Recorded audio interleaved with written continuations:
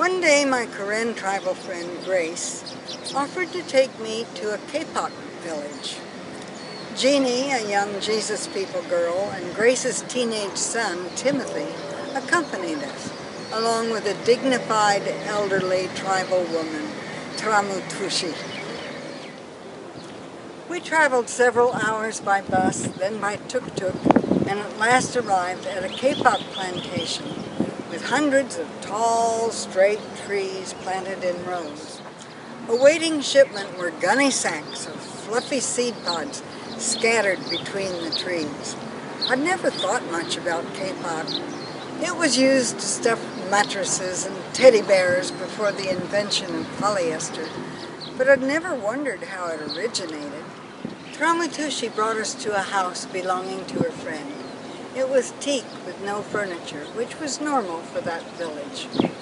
At the Bible study conducted by Tramutushi that night, a swarthy young Thai man kept staring at me.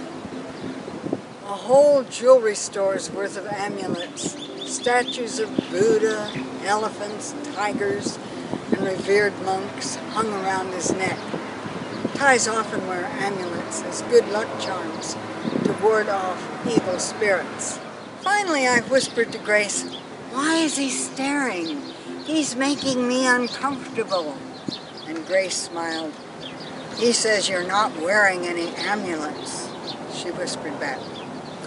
So that was it. Tell him I don't need amulets. My God protects me.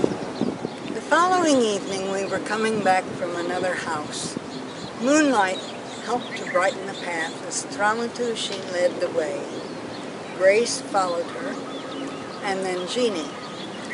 Timothy was fourth, carrying a flashlight, torch in British Karen parlance.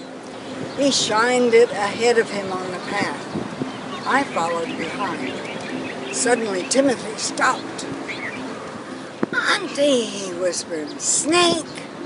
He shined his flashlight just ahead of his feet onto a snake slowly slithering across the path. Stunned, we both watched it disappearing into the field at the side of the path. I don't know how long it was. I never saw the end of it. The other three folks who were walking ahead of us never saw it. When we got home, Timothy told the waiting group, Big snake on the path. About this big around, I added, circling my thumbs and fingers to show us her circumference about like a softball. A snake? Jeannie shouted. I didn't see a snake. What snake? asked Grace. It was cream-colored, said Timothy, with red spot splotches, I added. Our host was shocked.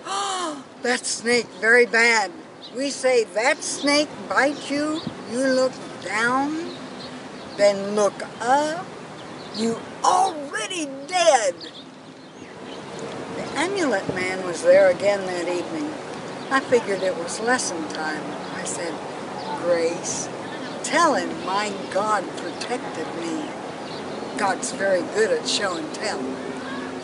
I thought about what had happened and said in a soft voice to Timothy, that snake was moving so slowly, it had to be in the path when your mother and Ramatushi and Jeannie went by. They must have stepped over it. Their shoes never touched it, and they never looked down.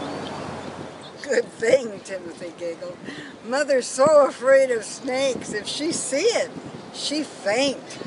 We carry her home. I think God let Timothy and me see the snake so we could tell people about the miracle.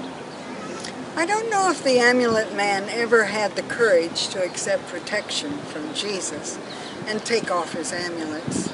But I do know one thing, I'm thankful God protected me. That night we really celebrated.